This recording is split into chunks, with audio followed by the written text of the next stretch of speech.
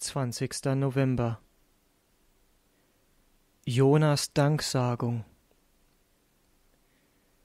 Ich aber will die Opfer bringen mit der Stimme des Lobes. Was ich gelobt habe, werde ich erfüllen. Bei dem Herrn ist Rettung. Jona 2, Vers 10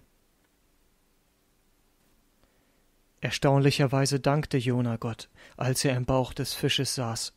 Jona 2, Vers 2 wie hättest du an Jonas Stelle reagiert?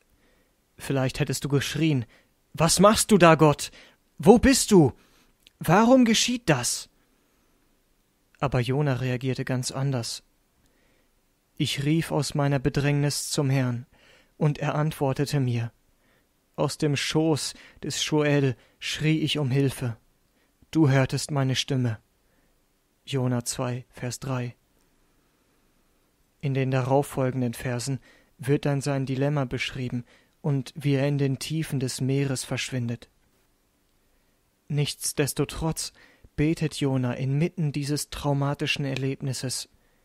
Da führtest du mein Leben aus der Grube herauf, Herr, mein Gott.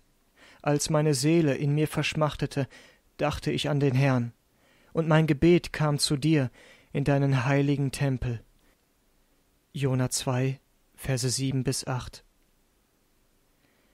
Obwohl Jona auch Schwächen aufwies, beweist sein Gebet doch geistliche Standhaftigkeit. Er glaubte Gott und wusste, dass er ihn befreien konnte, wenn er wollte. Auch du kannst Gottes Frieden erleben, wenn du dich in allen Umständen mit dankbarem Gebet an ihn wendest.